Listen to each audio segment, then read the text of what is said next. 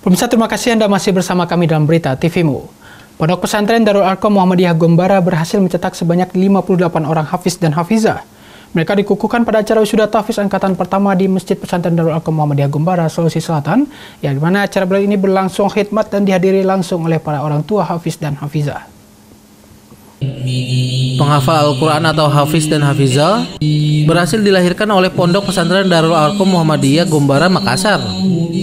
Sebanyak 59 orang Hafiz dan Hafizah mengikuti acara wisuda tahfiz angkatan pertama Pondok Pesantren Darul Arkom Muhammadiyah Gombara.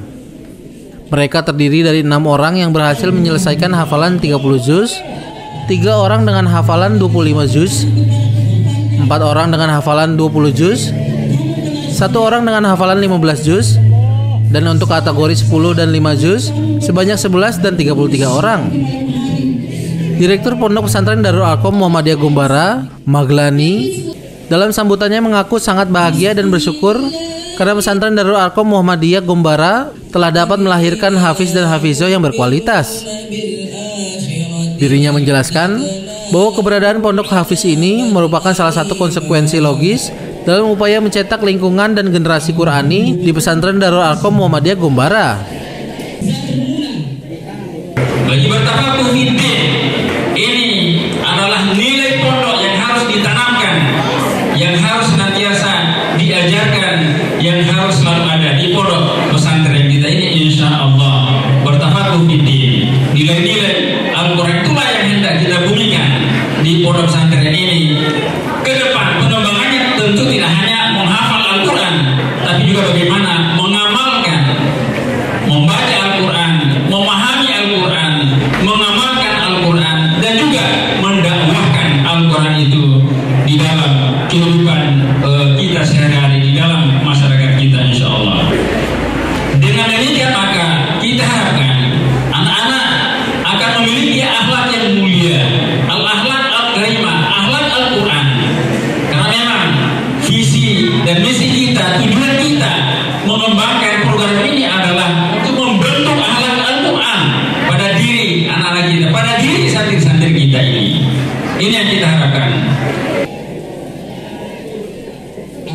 Sementara itu, Ketua Pimpinan Wilayah Muhammadiyah Sulawesi Selatan Ambu Ase yang hadir pada acara ini memberikan apresiasi atas terselenggaranya wisuda Hafiz kali ini. Guru Besar UIN Alauddin Makassar ini menambahkan bahwa apa yang telah dicapai pada sekarang ini harus terus dikembangkan agar ke depan Pondok Pesantren Darul Arkom Muhammadiyah Gombara mampu menjadi salah satu pondok pesantren yang berkualitas di Sulawesi Selatan. Ya tentu kita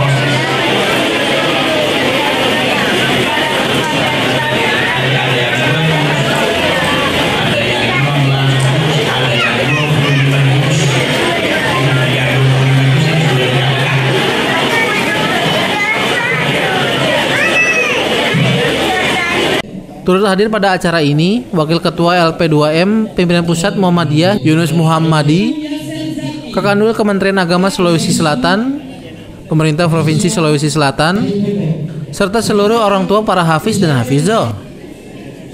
Umar Sadik, Muhammad Yusron memberitakan dari Makassar, Sulawesi Selatan.